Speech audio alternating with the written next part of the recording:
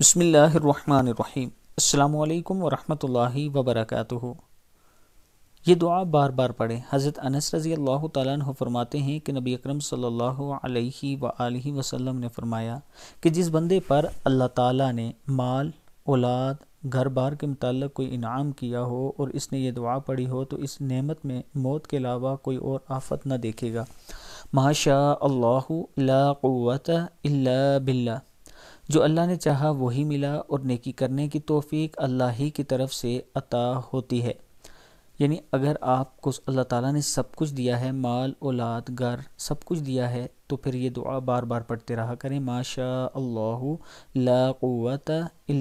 बिल्ला सदक